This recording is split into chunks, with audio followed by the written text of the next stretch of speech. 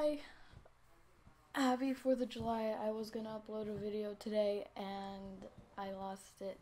So, happy 4th of July. For this special occasion, I give you daily uploads for as long as I can do it.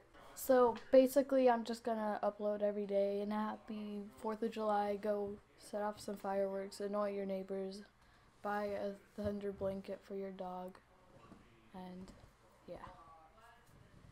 Goodbye. I just woke up, so I'm not enthusiastic.